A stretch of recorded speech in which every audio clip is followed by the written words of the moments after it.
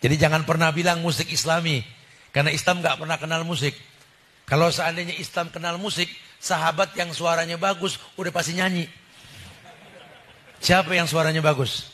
Abu Musa al-As'ari, betul? Uh, uh, iparnya Salman ini, Al-Farisi. Masya Allah. Siapa lagi yang bagus? Abdurrahman bin Auf.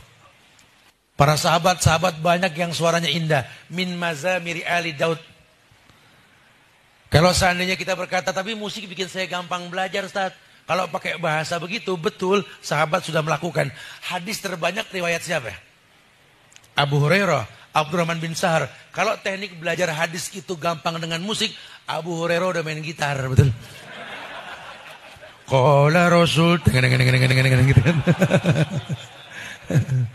Ente mau putar ke mana tuh ya? Makanya aneh kalau dibilang, tapi kalau musik kata-katanya bagus itu boleh. Suruh tanggung dosa di hadapan Allah nanti itu orang ngomong.